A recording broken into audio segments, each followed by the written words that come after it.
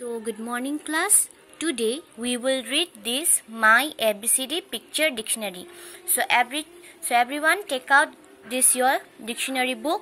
Then today we will read this ABCD Picture Dictionary book. Okay. So let us start.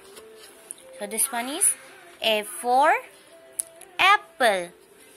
A for apple.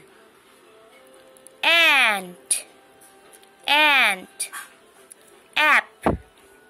App. Arm. Arm. Army. Army.